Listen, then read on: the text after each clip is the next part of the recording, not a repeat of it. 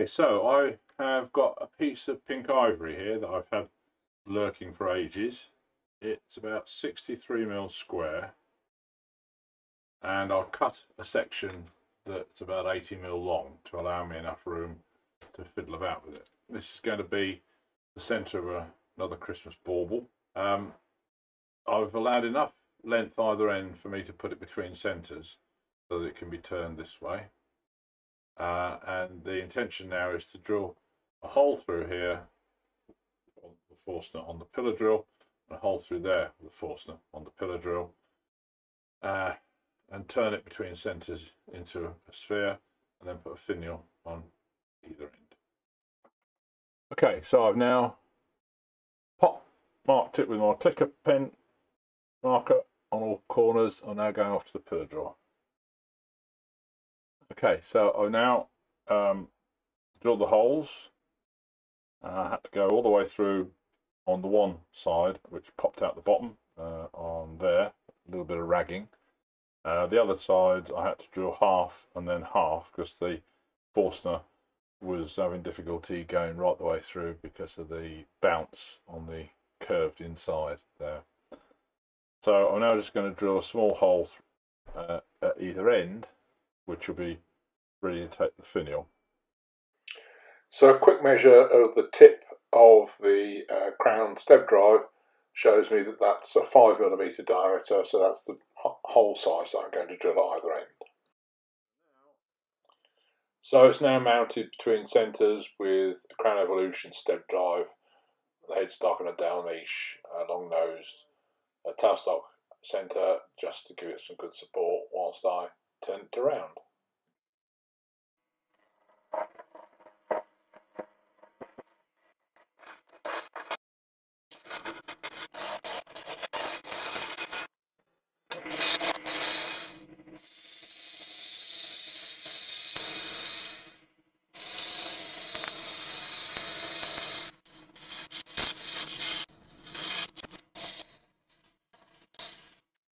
So now I've got a bit of the shaping done, I'm going to turn a tenon and pop it into the chuck.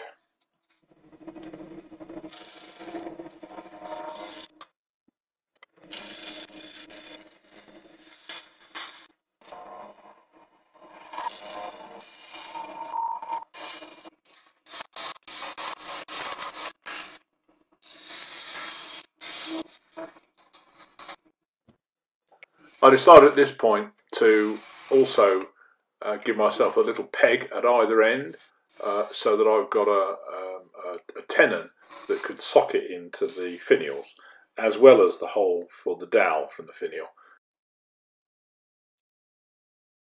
Then a quick sand up and a spray with cellulose sanding sealer followed by a coat or two of uh, Chestnut's um, acrylic gloss. And once dry after a little bit of heat gun work, uh, part it off. And then making sure I've caught that one, uh, ready to start making the finials. Right, I've got some African blackwood, which I just put between centres. I'm just going to round it off and turn a small tenon with a small medium-sized record power chuck jaws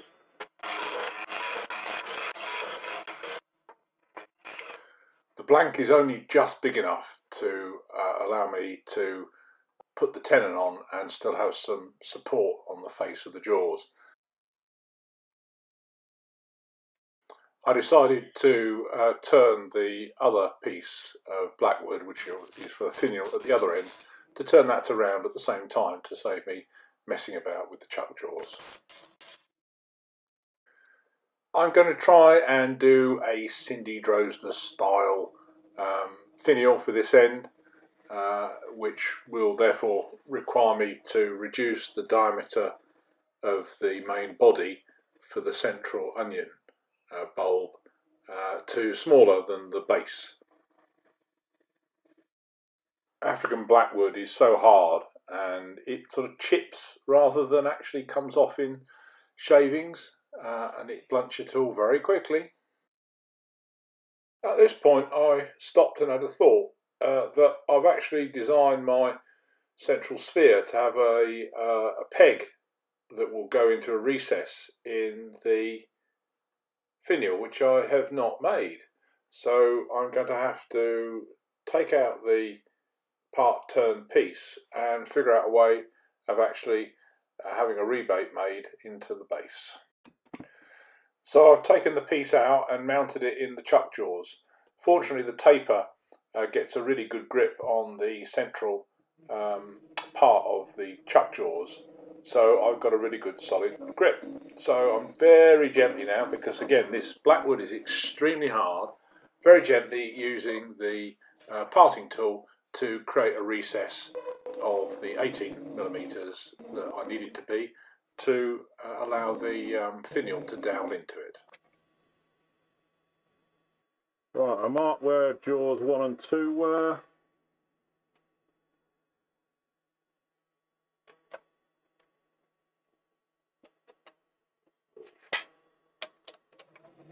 So back to shaping the finial we go.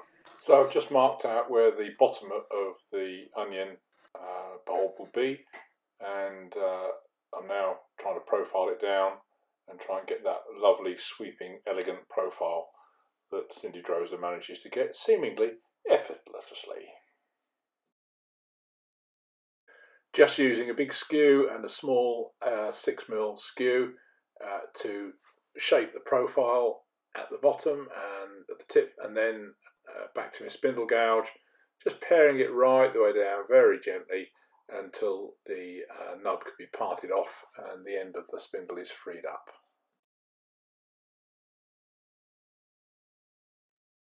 A bit of one-handed skew work takes a bit of getting used to to do this uh, but once you've kind of figured out where to tuck the skew handle under your arm uh, it's actually not too bad. Then a bit more finessing of the tip of the finial with the spindle gouge, getting it as small as possible. At this point I've got to start uh, giving the uh, whole piece some support with my other hand so that the push from the spindle and the resistance from your hand balance each, each other up. So there's really no lateral force on the finial itself. Uh, gets trickier uh, as you get thinner, of course. The traditional tool rest I find difficult to get my hand around and underneath in order to provide lateral support to the uh, spindle. So I've changed it to the uh, steel rod style uh, Axminster's tool rest and you can get your hand around and underneath it and just uh, get that resistance that you need from your uh, index finger on your left hand. It does take a while in the Blackwood because it is so hard. And it's also takes a bit of getting used to using the spindle gouge one-handed. Again, you kind of have to lay it along your arm so that it, it becomes like a, an extension of your finger, effectively. Uh, but uh, again, practice makes perfect. I haven't done that many. I'm getting better. Getting it thin, still tricky. And then I'm going to try being a good boy and try and sand and finish as I go and try and avoid going back so that uh, you have got the strength of the main body of the finial there when you're finishing it off. Um, sanded all the way up to 400 grit using um, some Niweb and then Yorkshire grit to finish it off and bring out that real sheen that you get from the blackwood and then back to shaping the finial. Uh, you can see that the uh, wood has relaxed, the stresses have moved the tip about. Uh, you've got to expect that. That's one of the reasons why you try and avoid going back because it's not going to be running completely true after a while. As you get thinner and you get closer to the finished thickness, the support from your hand is even more important. And uh, either wrapping it around the tool rest seems to work, but sometimes I find just leaning over with my left arm resting on the top of the uh, the pulley belt works okay too.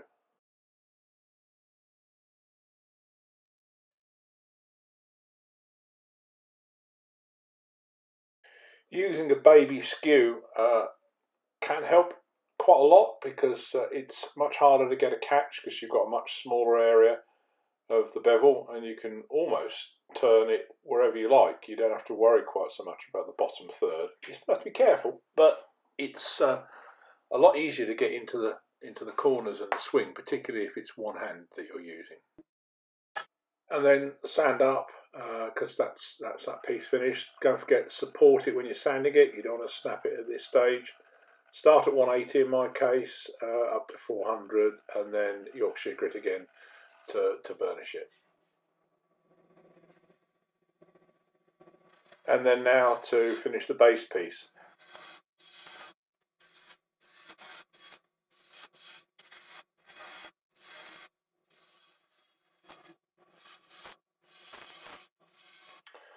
A nice sweeping profile, getting it quite nice and thin underneath the onion.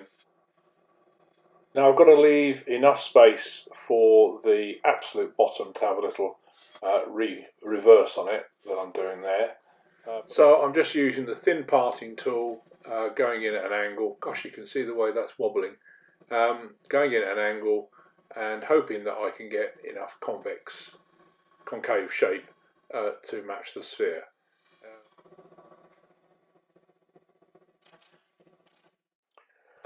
Right, well that's the top part of the finial uh, finished um, and I've just got to now do the other end which is going to be physically the top because it will be hanging from this.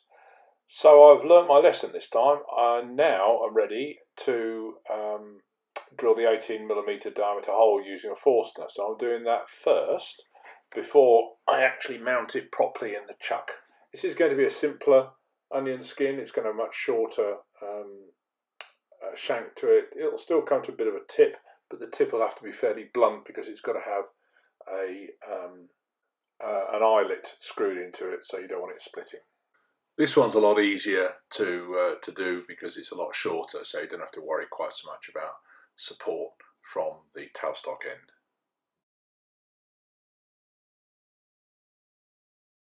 Uh, that's pretty well finished now. I can sand it up and burnish it, put a bit of wax on, and all I've got to do now is finesse the base and part it off uh, with an undercut.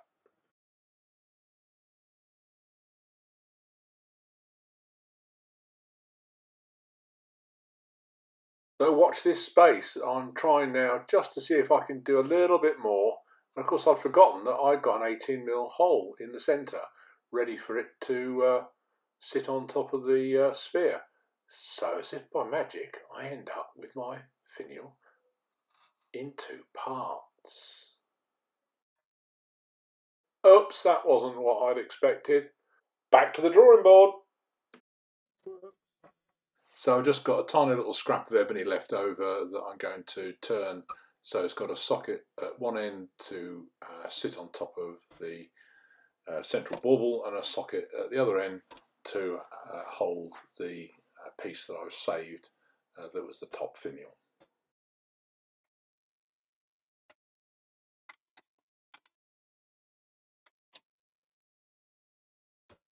So I've turned the little piece of wood to round, reversed it into the chuck jaws, and I'm now drilling the 18 millimeter uh, diameter hole that is the recess needed to fit the piece onto the top of the bauble. I also need the hole to be sized so that I can fit some small jaws in, in expansion mode. So what I'm doing is I'm just widening out the first sort of four or five mil into a small dovetail, uh, which I can then use with my very small pen jaws.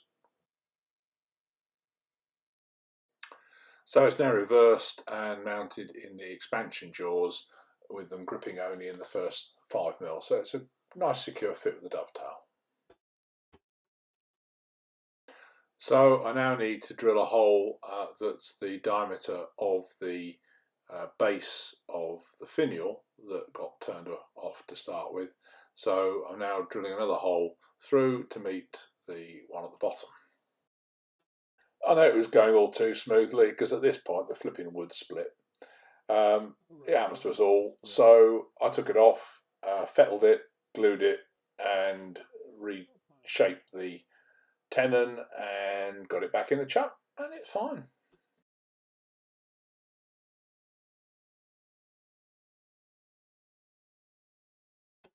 I just need now to finesse the recess for the uh, top finial section and then shape the base accordingly.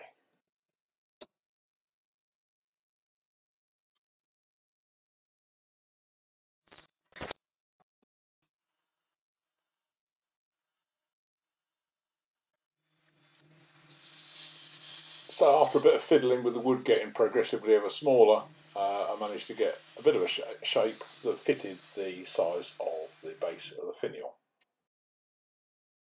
I've now stuck this in uh, and uh, I'm just going to put some Yorkshire grit on. So that's now all gluing up uh, and I'm going to turn a central ball for mounting within the bauble uh, from a piece of nice olive wood. And then turn a tenon for one of the smaller chucks on one end. Always good to do a bit of skew practice whenever you can.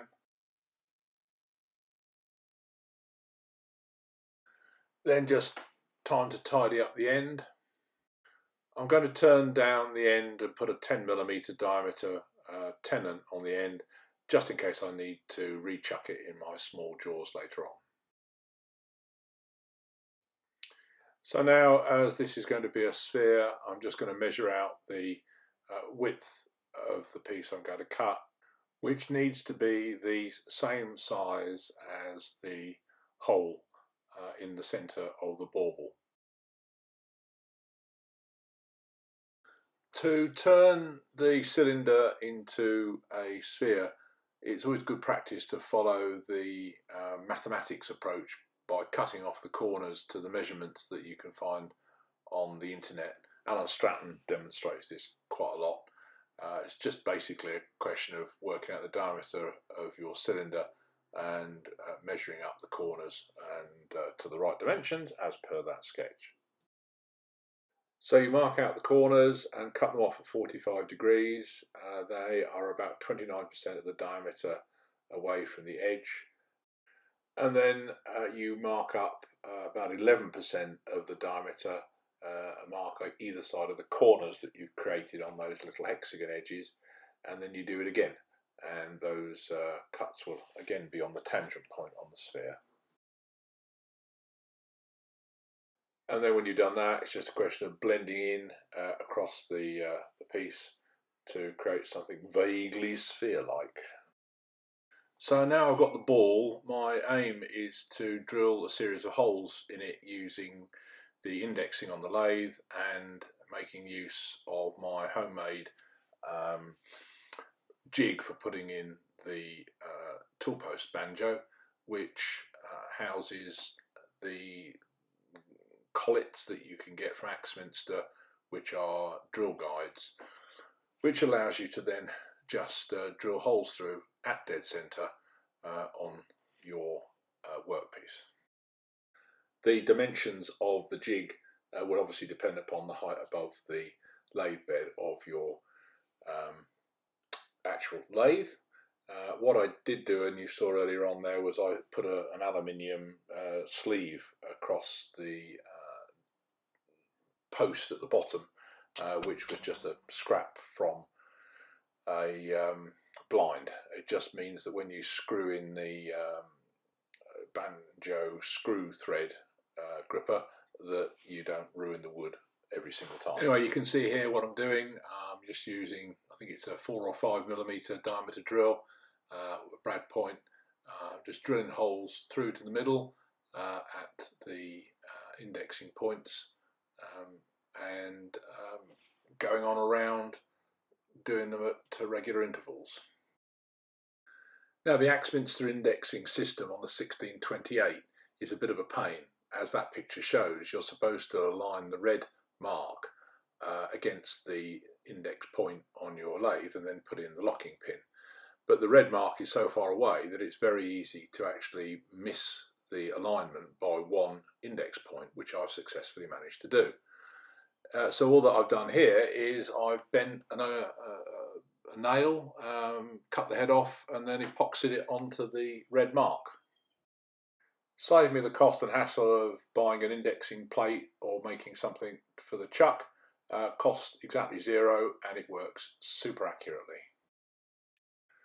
So I've gone round drilling holes at regular intervals uh, all the way around it uh, and what I want to do now is uh, turn the jig so that it's at 45 degrees uh, which I'm going to do by using a protractor uh, against the banjo uh, and the lathe bed just to try and get it moderately accurately the same and I'm going to do the same on one side go all the way around and then repeat on the other side.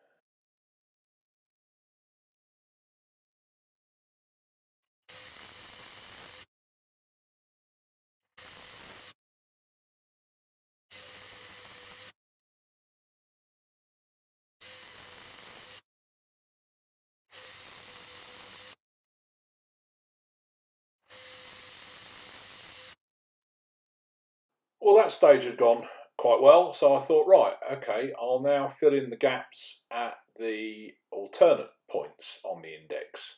So uh, I thought, right, well, I'll set it up at like 22 and a half degrees off the vertical and uh, choose a slightly smaller drill hole, uh, drill size I think was 4 mil, and uh, drill around filling in the gaps. So once I'd done that side, I obviously then moved on to the other side and um, drilled the holes there. And it was all going swimmingly for a while. Isn't it always the way, just one cut too many? Uh, well, the ball crumbled. Uh, I'd obviously uh, not gauged any slight faults in the wood and uh, I'd uh, hmm, basically drilled it into Swiss cheese. So, time for a design change. So out with the Dremel and time to reshape the centre and make some sort of pleasant shape out of it. The emerging idea now is to make it so it's like a half shell and uh, perhaps install something else in the middle as well. So I use several different burrs uh, going down in size to get it nice and smooth and creating a shape that I thought might look quite uh, quite fun sitting in the inside of the bauble. So with that done, uh, a bit of chestnut sanding sealer and then out with the uh, paints. So I've got some Inka Gold Blue, which I thought I'd put on the inside and perhaps through the holes. And then uh, I'll try some Inka Gold colour, a goldy colour around the edge, just to highlight it. Having put some sealer on first, it does mean that if any of the paint goes in places that you don't want, you've got um, a greater chance of getting it off. A bit of light sanding or a bit of solvent uh, will uh, remove it, uh, as happened here, because it did go in places that didn't intend it to, but it came off quite easily afterwards. So with the painting done, uh, I'm now thinking, right, okay, I'm going to hot melt glue a marble inside. So uh, it was more by luck than judgment that in my selection of marbles from when I was a kid, I've still got some. So in it went, bit of hot melt glue and a bit of thick um, CA glue. Now, uh, obviously as that's glued in there, I can't spin the lathe anymore. So um, just in case it came flying out and zonked me on the head. So I'm just measuring it up now uh, to make sure that I've got exactly the right dimension so that I can pop it in to the inside of the um, bauble uh, because it does require just a little one millimeter flat on either side of the sphere to make it fit perfectly. Okay, so that's now been cut and the bottom and then glue that in the middle. Alright, I've got this scrap of uh, beech and I'm going to um, turn it between centres make it into a cone and then slice the bottom off at an angle uh, so that I can then put a coat hanger on top and hopefully suspend the sphere from that. We'll um, see how it goes though. Spin the roughing gouge for most of it obviously and then uh, shape it with the skew to get a nice smooth finish and a decent profile.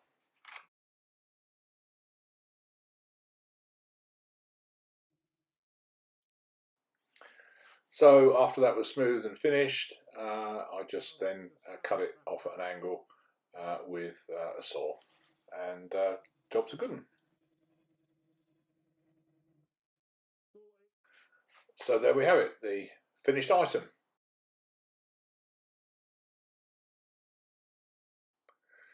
So what do you think? I think actually having the disaster with the centre falling apart has given me nice creative opportunity to do something a bit different. The close-ups show that the fit of the finial at the top to the top of the bauble isn't very good. That's the one bit I'm not very happy with. Didn't manage to get that undercut in exactly the right um, angle. But that's the trouble with doing a retrofit and obviously, if I'd planned exactly how this was going to work from the very beginning, I'd have probably made it all in quite a different way. So maybe the second one will be even better.